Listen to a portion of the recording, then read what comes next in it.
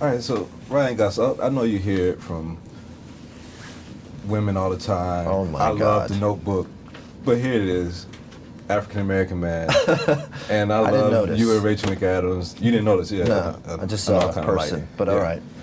And I That's love the. Notebook. You know, so so it's, it's great to finally have a chance to, to meet you and uh, interview you for this movie, which which I also love, Crazy Stupid Love. So, Oh. my my first question to you is, um, for for a recently divorced man or somebody that's contemplating divorce, is it a wise idea to hang out with somebody with that's a player like Jacob's character? Uh, are you? Is that you? no, it's not me. What are we talking about here? We're- Just a ficti- this, yeah, this- fictitiously. uh, okay. Yeah, yeah, yeah. yeah. Uh, so in a fictitious world, should a fictitious guy about to get a divorce hang out with? Yeah, I think it's fine. I think it's fine. Sure.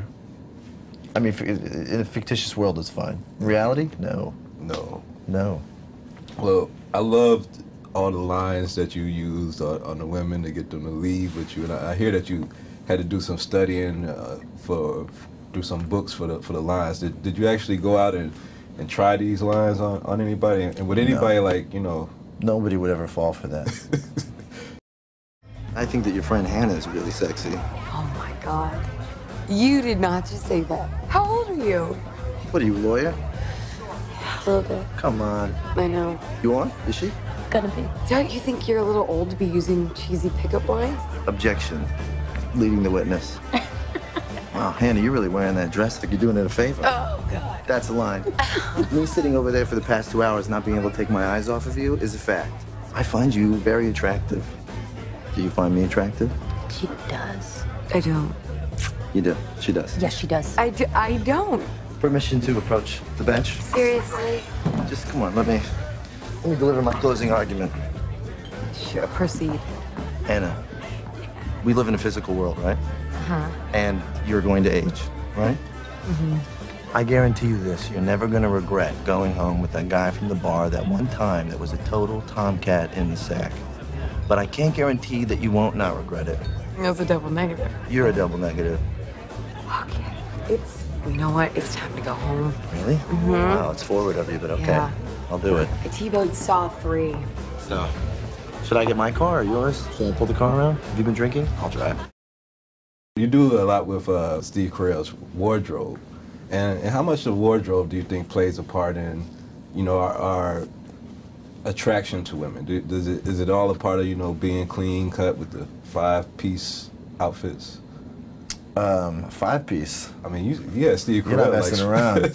sweating under It's like true. He did have a lot of sweaters, yeah, and jackets yeah. and turtlenecks. Um, Are do you I a think- wardrobe Do I guy? think like clothes make the man sort Yeah. of thing?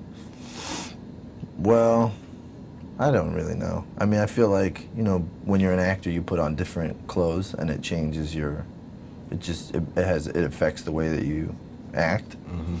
So there might be some truth in it. I don't. I don't really. I, I'm not. I don't know. I'm not an authority on this, so I can't really comment. How much money you got today for clothes? Um, how's What that- happened to your feet? What do you mean? These are my 407s. Oh, they're 407s. Can I see them? Yeah. These offer a lot of support. Right. Whoa, come on! What are you in a fraternity? Are you insane? Are you in a fraternity? You could have hit somebody. Are What you? was that? I'm asking you a question. You in a fraternity? No. Are you Steve Jobs? What? Hold on a second. Are you the billionaire owner of Apple Computers? No. Oh, okay. Well, in that case, you got no right to wear New Balance sneakers ever.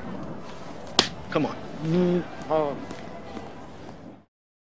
When you're playing on a cast with such great talent, does it help bring more out of you, or is it, or is it you're just still the, the same task for you? Does it, does it help you a little bit?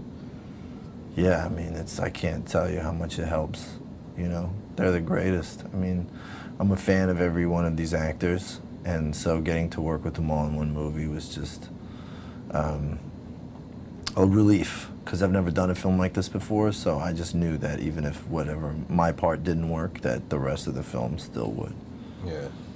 And and lastly, uh, you being not having done many comedies before, and, and you slammed this role, do you think that might be something that you'll explore more in, in the future future roles?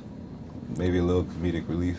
Well, I think okay. So I'm, I was getting stressed out with the movies I was making. I went. I had to go to a physical for the doctor, and he gave me a prescription, and I read it, and it said do a comedy, and so I did it, and I think that I do feel better. So there's probably some, probably some. Uh, I probably I would like to do it again, but I would like to do it with the same people. Yeah. You know, I got kind of spoiled on this one. Yeah. Well, we getting spoiled by your talent, man. You keep on doing stuff. We'll keep on watching. You're a great actor. Thanks, man.